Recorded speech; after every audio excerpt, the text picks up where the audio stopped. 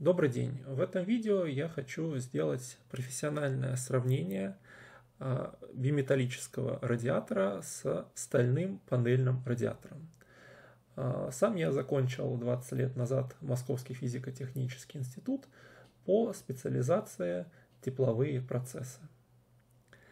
А, и сейчас развенчаю некоторые мифы по радиаторам. А, почему выбрал именно эти радиаторы? Потому что оба я купил себе на дачу, когда начал менять старые э, трубы, старые радиаторы. А, итак, сравниваем между собой.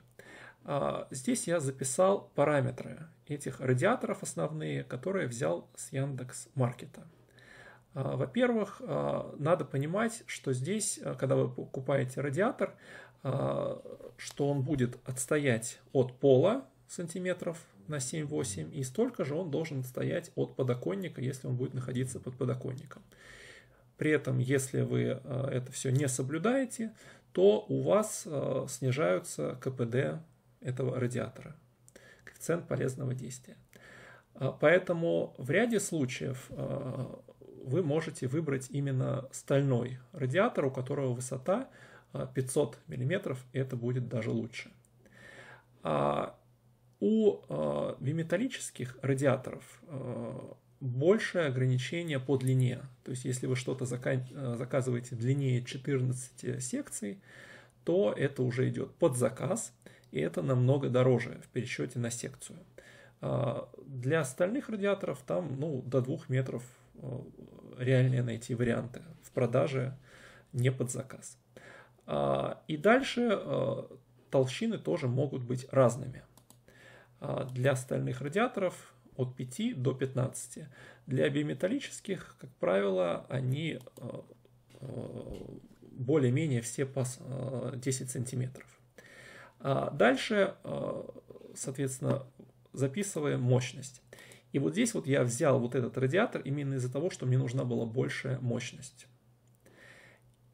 Если рассчитать э, мощность на длину, то окажется, что здесь э, незначительно выигрывает металлический радиатор. А длина – это же его вот ширина, да, это синонимы.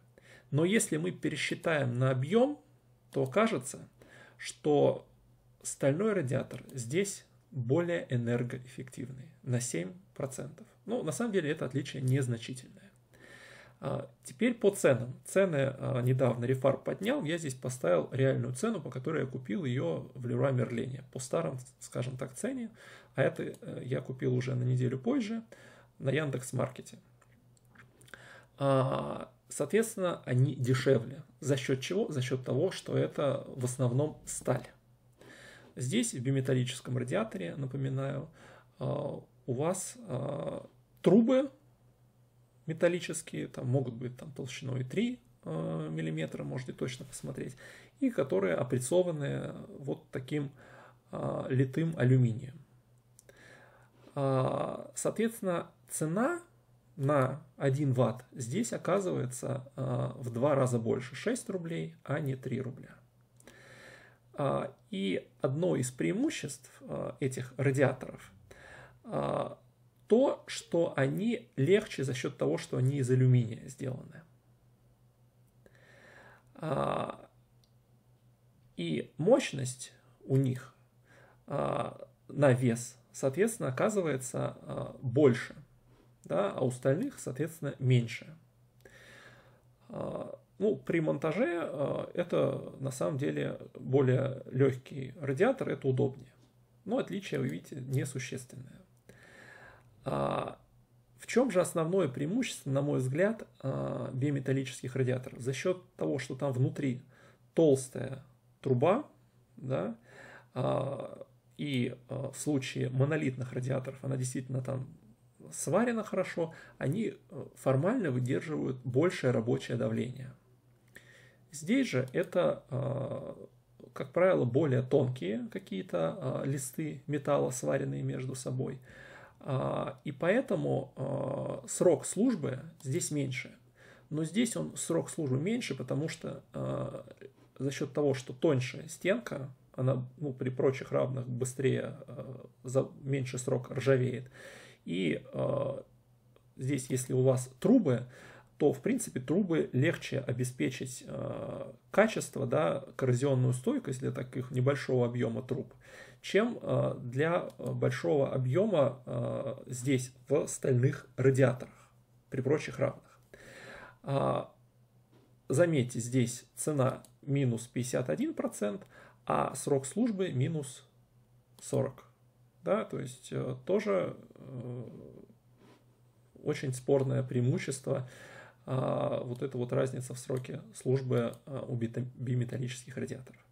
Одним из важных показателей, а, почему стоит иногда выбирать биметаллический радиатор, это именно стойкость к антифризу.